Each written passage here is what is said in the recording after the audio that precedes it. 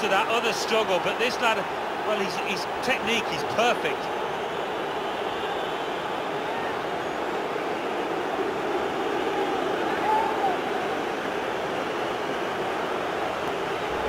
He took it on, and that showed a bit of courage, but he was rewarded for his bravery with the perfect volley. Well, sometimes they can fly into Ed, but that one, back of the net. Well done, son.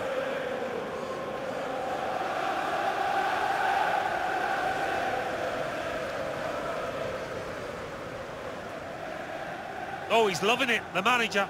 He's seeing his team playing really well, just what he was asking for.